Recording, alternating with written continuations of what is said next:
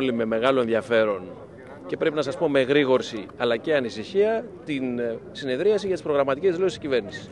Τότε θα υπάρξει χρόνος επί συγκεκριμένων εξελίξεων και δεδομένων να τοποθετηθούν όλα τα πολιτικά κόμματα και πάνω απ' όλα η κυβέρνηση.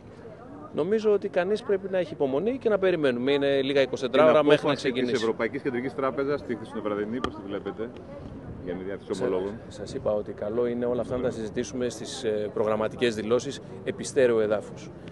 Είναι μια στιγμή που θα πρέπει να αποφύγουμε δηλώσεις και τοποθετήσεις πάνω στην, στη θερμοκρασία της στιγμής. Πρέπει με νυφαλιότητα και σοβαρότητα να αντιμετωπίσουμε όλες τις εξελίξεις και με μόνο γνώμονα το συμφέρον της χώρας και του λαού.